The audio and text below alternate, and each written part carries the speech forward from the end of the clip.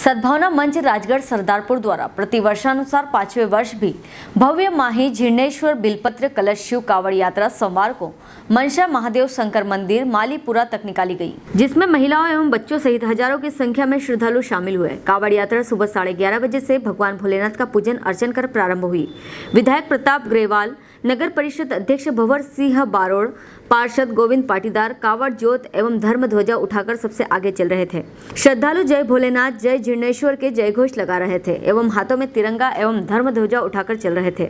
कावड़ यात्रा में बालीपुर धाम के गुरुदेव श्री श्री 1008 योगेश जी महाराज बांडी खाली धाम के कैलाश गिरी जी महाराज भी शामिल होकर भक्तों को आशीर्वाद प्रदान कर रहे थे। सरदारपुर से जगदीश मारू की रिपोर्ट।